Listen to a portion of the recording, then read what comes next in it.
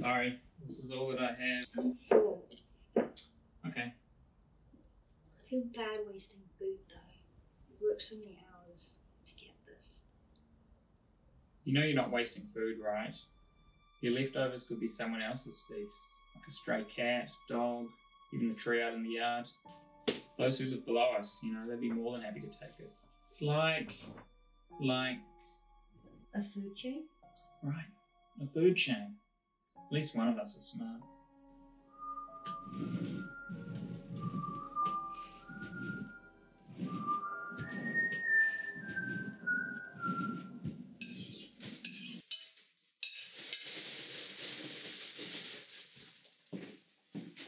I miss mum.